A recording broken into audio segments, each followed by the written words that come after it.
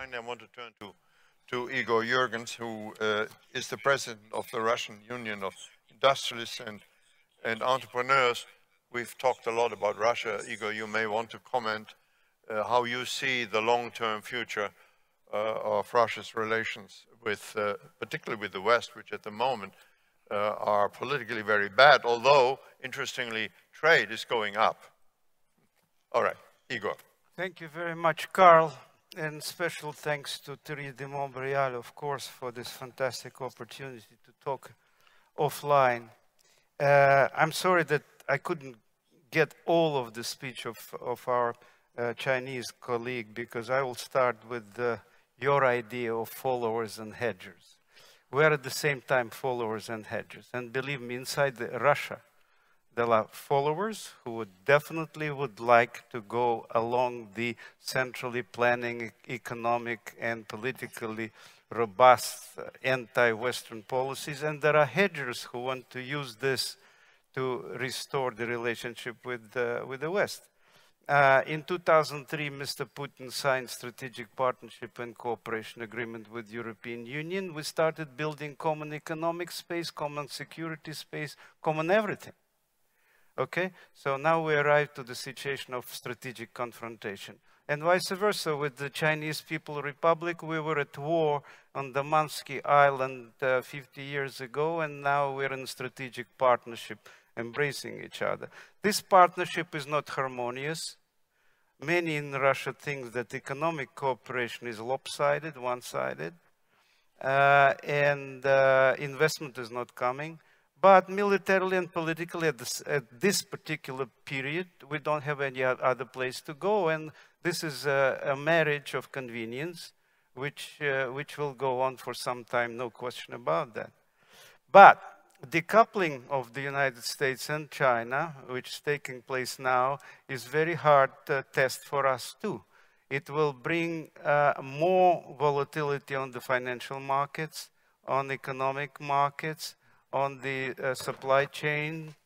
Uh, it will bring more uh, tension to the international system and to Russia also. And uh, from the point of view of making an estimate whether it's a Cold War or not yet a Cold War, but something else, I would say it's very close to the Cold War with uh, this uh, broadening of extent of the Cold War. Uh, because it, uh, you know, only two years ago, uh, from, from the same uh, rostrums and the same, same panels as today, I was hearing that there is no ideological component of the Cold War now because we're all in the free markets and everything else. Judging by the statements uh, from the President Xi Jinping and what is being in the make for the uh, 20th Congress of the Communist Party of China for the next year, uh, it is now ideological too. The same way it was between the Soviet Union and the United States. So from this point of view, I would say that uh, uh, hedgers in Russia uh, would be very cautious in taking sides if decoupling takes a, a, a resolute, uh, a resolute uh, final uh, countdown. Because we, I cannot imagine what will happen on the Russian stock exchange if, for example, tomorrow there is a conflict around Taiwan. And this conflict is in the making. If I, if I hear uh, uh, uh, all right, then uh, the, the, the example of Hong Kong can show what might happen in the Chinese world, including Taiwan, if, if this decoupling goes all the way down. And which brings me to AUKUS. Uh, AUKUS is the creation of the new bloc. for Russia, it's very dangerous because NATO is, uh, is, uh, uh, is an opponent and uh, bordering on being an enemy, but it's an understandable enemy. It's an enemy with whom we have relations for uh, all those 50 years. It's an enemy or opponent uh, with whom we have diplomatic relations. We have the Russian NATO Council. It's idle at the moment, but we have this instrument. What will happen with AUKUS or something else which would be created instead of uh, unified NATO is, is a big question mark. If tomorrow, for example, our Polish friends and, and Baltic states would uh, decide to create the same kind of a caucus uh, uh, on the borders of Russia because of the Ukrainian situation or, or something else, then, then it, it's, a, it's a real danger. So this is the second danger. Uh, China, Russia, uh, China, United States decoupling, AUKUS. Then comes Afghanistan, which was mentioned here too. Uh, Afghanistan, I'm not talking and not commenting on how Biden decided to to to execute logistically the, the, this thing. But uh, it's a smart move if you talk about Russian-American confrontation because you give all these Islamic problems to, to, to Russian border.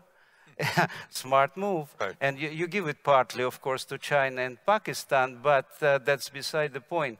Uh, the most uh, serious thing is happening on the Tajik, Uzbekistan, uh, Turkmenian border, where we have uh, our troops and our military installations. So from this point of view, I think that we are heading into a very serious confrontation before the things will get better. Because uh, when the United States declared that semiconductors will not be given to China at all, finished. We're, we are building that in Wyoming and other states.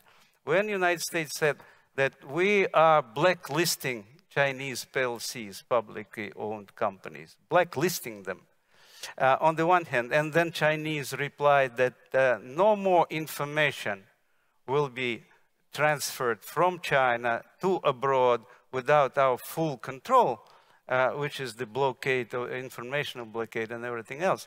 So it's a beginning of something which we don't know the end of. And Taiwan would be probably one of the testing grounds, but, but it's a very serious showdown.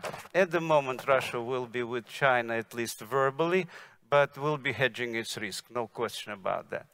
So uh, just to end on the, on the bright note, I would say yes, sustainable development concept, if they take it seriously in Glasgow next month, and if we really have an architecture for this sustainable development, decarbonization, green economy, and all of that stuff, that gives us uh, the, the platform for the green diplomacy. No question about that. But before we get that, uh, here I, am I'm, I'm with Greta Thunberg.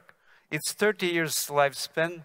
Uh, all of the tycoons in oil and gas say, okay, okay, 2050, but we will do our profit at the moment. And before we agree on all those transitory taxation of carbon and everything else, we'll, we'll blackmail Europe uh, by, by, by, car, by coal, by gas, by oil, because you need that. You, you, you, see what's happening with the gas price in Europe. So this is, uh, before we get better, we will get worse. And uh, unfortunately, the blame should be put on both sides. And I would end by saying that uh, my colleague on the right remembers perfectly well when in Brussels we signed cooperation partnership and we thought that we are in the same family. And where we are now, we see. Thank you. Thank you very much, uh, Igor.